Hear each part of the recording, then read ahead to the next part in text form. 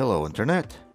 Today I have a very interesting and a very long story about this half-dead EVGA 3090 FTW3 that gave me hemorrhoids.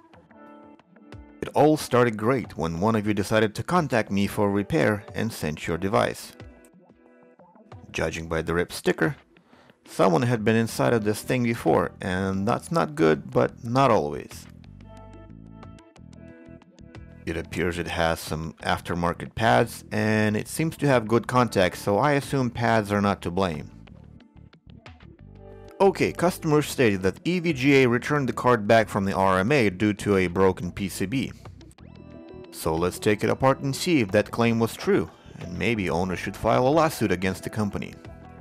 That's right EVGA, I'm after your certified and overqualified engineers, and I want to get to the bottom of this. So let's dig in and see what we find.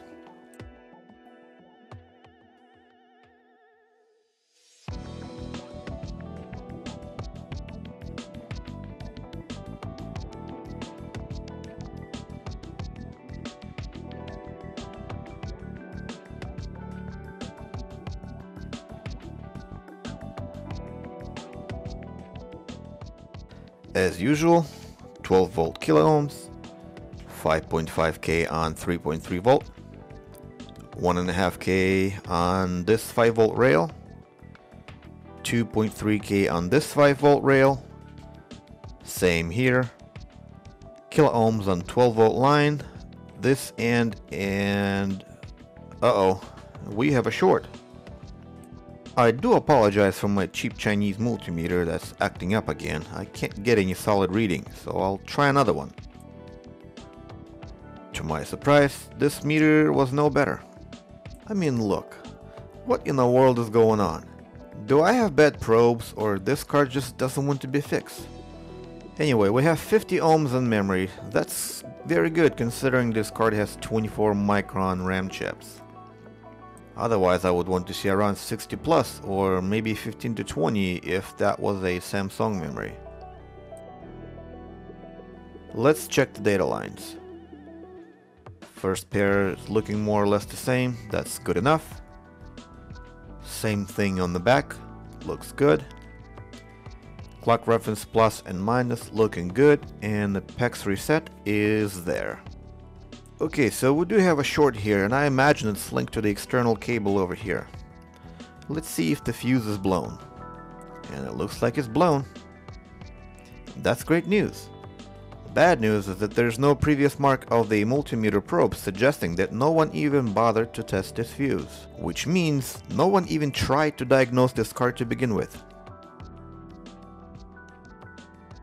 Alright, now I gotta remove all the thermal pads and clean things up so I can have a better look at what's going on. And I'm back. Card is clean, let's have a look. I think this is how the original diagnostic was made. Certified, overly qualified technician with an electrical engineering degree has looked at this hole and called it a bust.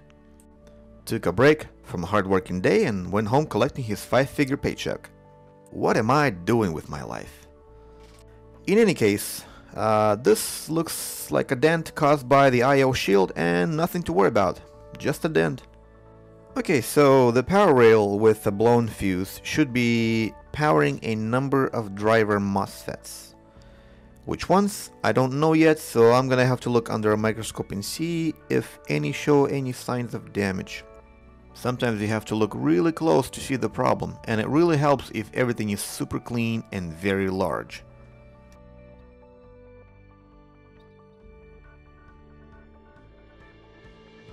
Looking around, I found this guy with the hole on the top.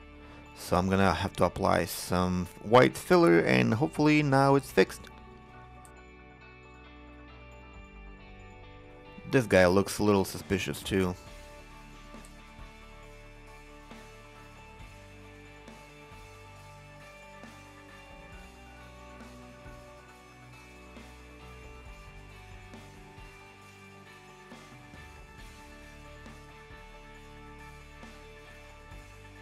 Now let's take a look on the other side, and I think they're all looking okay.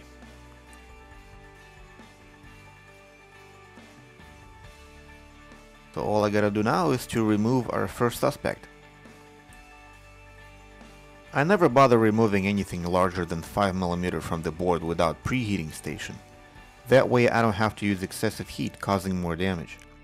Also, in this case, I have to protect these electrolytic capacitors from the heat, or they will explode. For that, I'll be using most advanced nanotechnology available only at the certified repair centers, called tinfoil. Component removal is straightforward. Apply some heat, lift the component and cleaning everything up.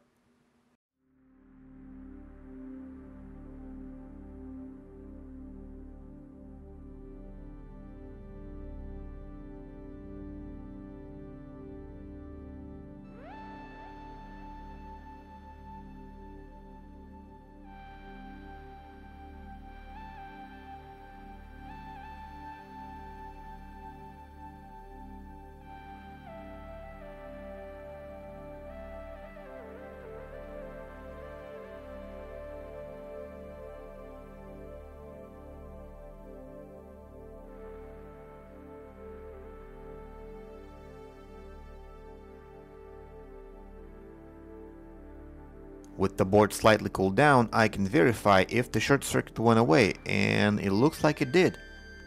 Take that certified electrical engineer. Since I don't have these brand new, I'll have to take one from the donor board, one of which was donated to me just recently due to a no fix. If you're a donor of this board, thank you. This country needs more people like you. With little more nano attack, to deflect the heat from the caps. Off we go to get the component we need. And let's not forget about the fuse. I don't have those in stock either.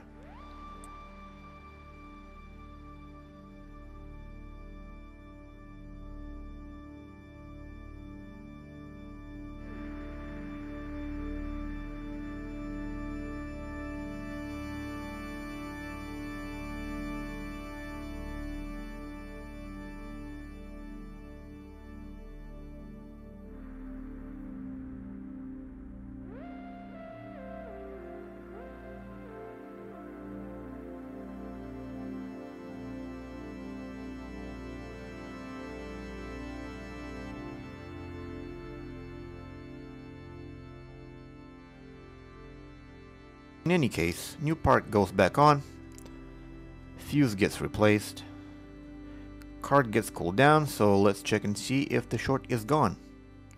And the short is not gone. No problem.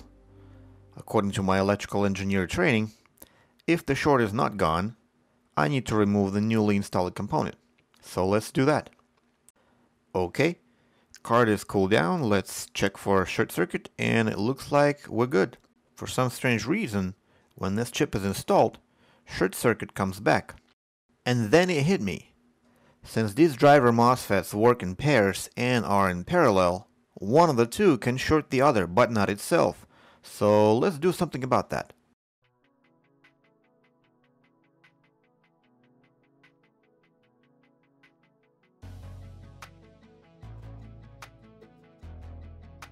Also, later I measured low resistance on the neighboring power rail, and it has around half a kilo ohm, which is really low.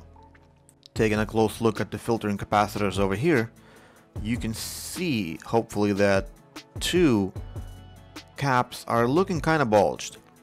So I will replace them because I suspect they were at the breaking point, and extra heat applied earlier just finished them off sooner, I suppose.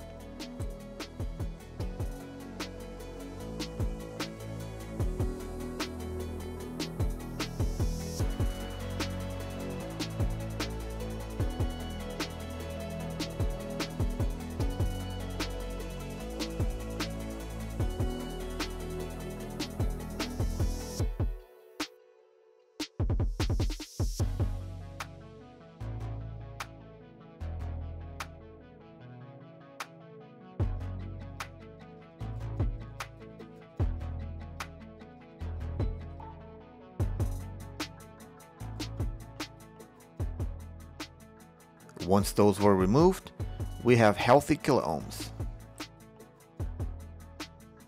These are the caps I'm going to be replacing and I will take them from the donor board. Hopefully they are in good condition.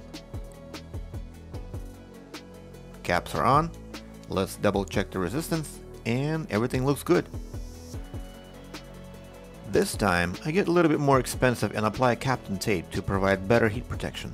This Kapton, Cap, Cap, capton Kapton, Kapton tape is only available for highly qualified CEOs of all electrician engineers for the price that only they can afford. 20 bucks that is. With this protection in place, I will solder these components back and hopefully making this card a little bit more alive. Okay, our driver MOSFETs are installed. Let's verify that we do not have any short circuits and looks like we do not. And then let's plug it into our Super Tester Mega Pro XL to see how many amps this car likes to eat. And as you can tell, it goes into a self-destruct mode, so we're gonna have to look under a thermal camera and see what gets hot.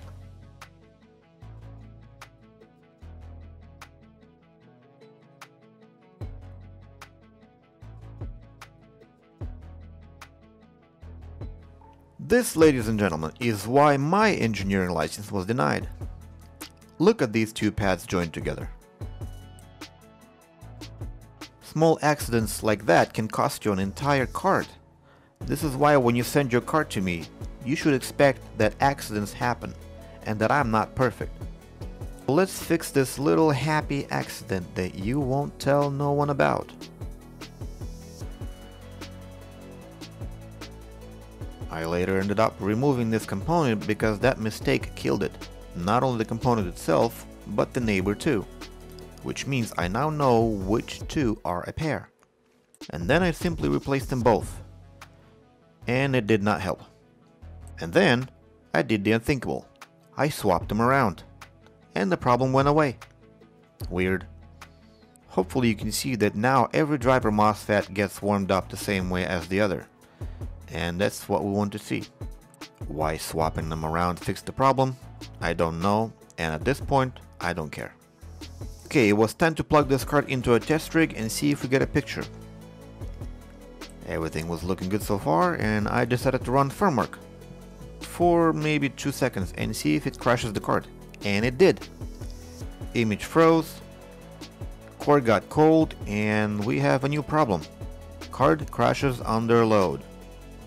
Man, I think I'm gonna need to spend at least 20 years in an engineering camp to solve this mystery. Anyway, we start by burning provided image to a USB thumb drive using program called Rufus.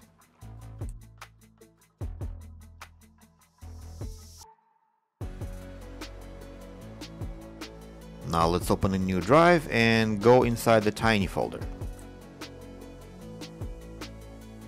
Open file called commands with a notepad and delete all of those commands except for the one line at the top.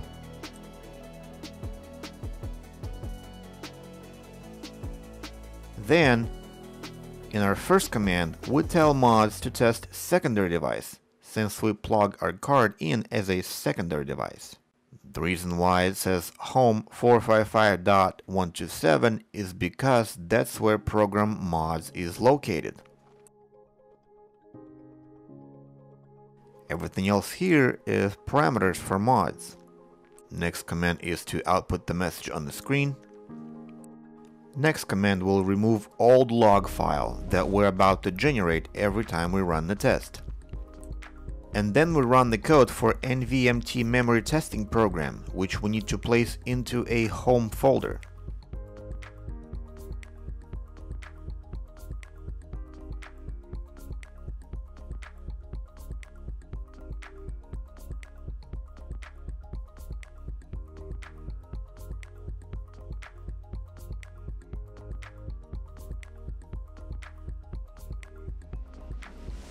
Next, you can either display the log file, or we can simply power off the PC and open this log file on the computer. Our newly created USB drive goes in, mods test will fail, but it will switch to a secondary device and it will allow NVMT to run the code on the correct device.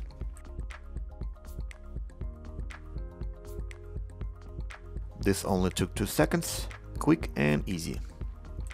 Okay, so now we go into a home folder and open nvmt.log file. Here we can see a bunch of ones, but some of them are actually not one. Those are the problem areas. Some chips show reading errors, some have writing errors, so we're gonna have to replace them all. And with a 50-50 success rate, customer agreed to pay for donor chips in advance, so here we go. I'm gonna steal these donor chips from my very own Gigabyte 3090 Aorus, which I bought for repair. But it ended up having a dead core, so I might as well make some money out of it.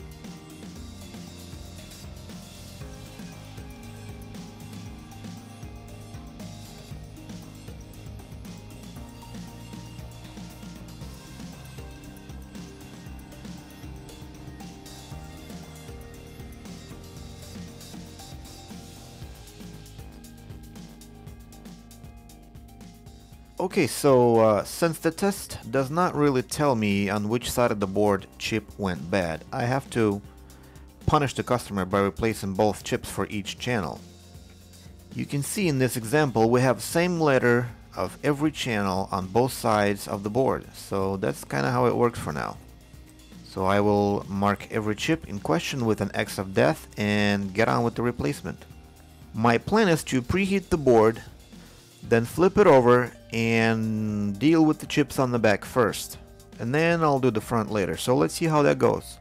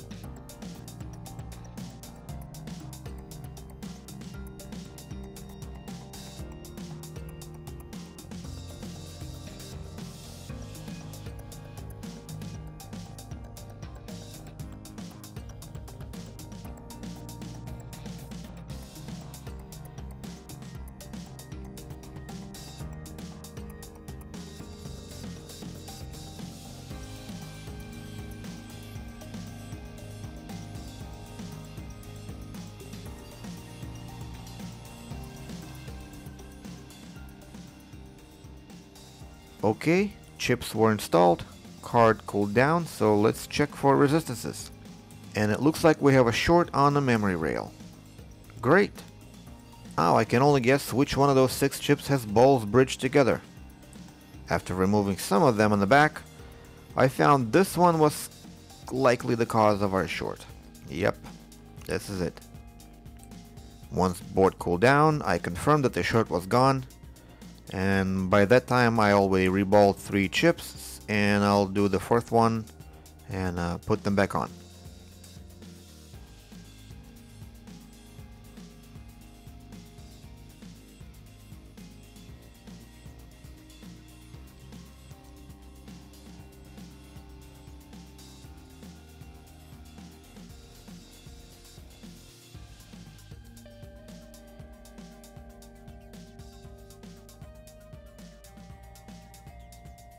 Card just cool down a little bit. Uh, we have 15 ohms. That's because it's still warm, so I say that's normal. Then I plugged in the card, ran the memory test, which failed by the way.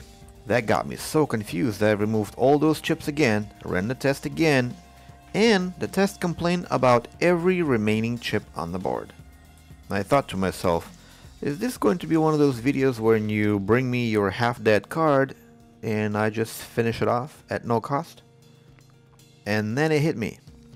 I think this board is simply too large and conducts a lot of heat. So I decided to resolder the chips again, this time with a little bit more preheating temperatures. And finally, I put it into Windows, which says that there are no problems with the device. Pretty weird. Anyway, after rebooting the computer, I loaded the memory with the OCCT. No crashes there.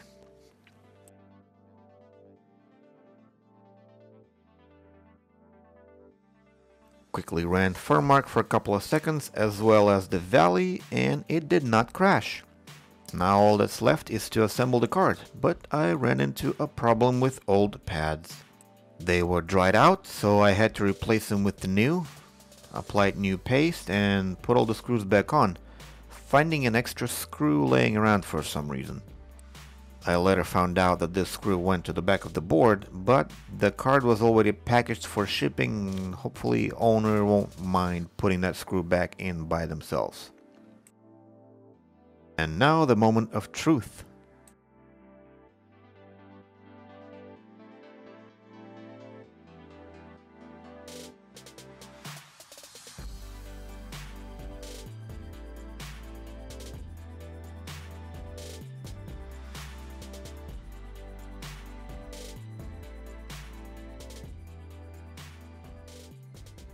Furmark is running for a few minutes, showing no signs of artifacting or freezing. Temperatures are stable. Superposition is flying very smoothly. Valley looks as beautiful as ever and my butt was hurting as never before sitting on it for so many hours, giving me hemorrhoids. Thanks EVGA, I knew I could count on you. With that said, I hope you guys have learned something today. If you care about my opinion on this card, it's rather positive. The PCB is very well made. Pads are not falling off. Cooling design was very well planned and I would highly recommend this card. Oh and if you need a repair, please follow the link in the description. And that's it for you today. Feel free to hit the like button, subscribe, and don't forget to comment below and I'll see you later. Goodbye.